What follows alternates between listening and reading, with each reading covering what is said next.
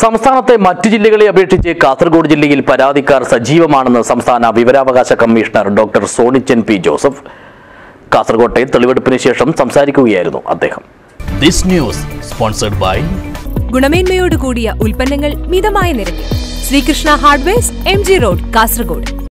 കേരളത്തിലെ മറ്റു ജില്ലകളിൽ നിന്നും വ്യത്യസ്തമായി കാസർഗോഡ് ജില്ലയിൽ പരാതിക്കാർ സജീവമായി തെളിവെടുപ്പിൽ പങ്കെടുക്കുന്നതും പരാതിയുമായി മുന്നോട്ടു പോകുന്നതും കമ്മീഷന് ബോധ്യപ്പെട്ടിട്ടുണ്ടെന്ന് സംസ്ഥാന വിവരാവകാശ commissioner doctor Sonichan P Joseph പറഞ്ഞു.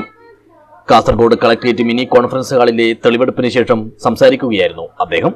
സഹകരണ വകുപ്പുമായും റവന്യൂ വകുപ്പുമായും ബന്ധപ്പെട്ട കേസുകളാണ് കൂടുതലായും കമ്മീഷന് മുമ്പാകെ വന്നത്.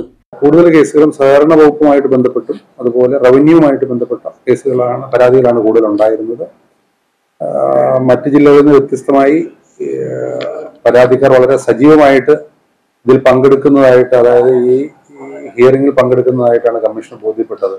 വളരെ ആക്റ്റീവായിട്ട് പങ്കെടുക്കുന്ന അല്ലെങ്കിൽ പരാതിയായിട്ട് മുന്നോട്ട് പോകുന്ന പരാതിക്കാരെയാണ് ഇവിടെ പലപ്പോഴും കാണുന്നത്.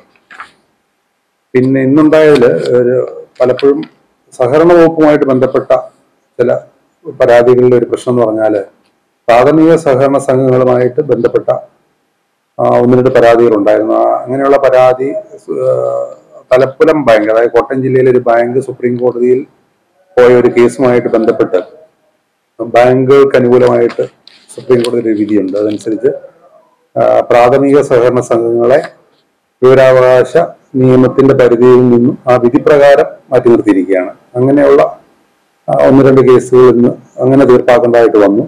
കാസർഗോഡ് താലൂക്കിലെ ഭൂമി പതിവുമായുള്ള പരാതിയും കമ്മീഷന് മുന്നിലെത്തി. അന്നത്തെ അപ്പീൽ അധികാരിയായ തഹസിൽദാർ കൈവശമില്ലാത്ത വസ്തു ഉണ്ടെന്ന തരത്തിൽ തെറ്റായ റിപ്പോർട്ട് നൽകിയെന്നായിരുന്നു പരാതി. തെളിവെടുപ്പിൽ ഹാജരാകാത്ത പഴയ തഹസിൽദാറിനെതിരെ നോട്ടീസ് അയക്കുമെന്നും നിയമ നടപടികൾ സ്വീകരിക്കുമെന്നും കമ്മീഷണർ പറഞ്ഞു. പ്രാഥമിക സഹകരണ സംഘങ്ങളുമായി ബന്ധപ്പെട്ട പരാതികളും കമ്മീഷന് മുമ്പാകെ വന്നു.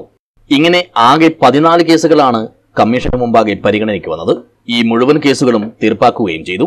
ജില്ലയിലെ ഒരു പരാതിക്കാരൻ പാലക്കാട് കുമരനെല്ലൂർ ബാങ്കുമായി ബന്ധപ്പെട്ട് നൽകിയ പരാതി ഓൺലൈനായും തീർപ്പാക്കി. News bureau Kasaragod.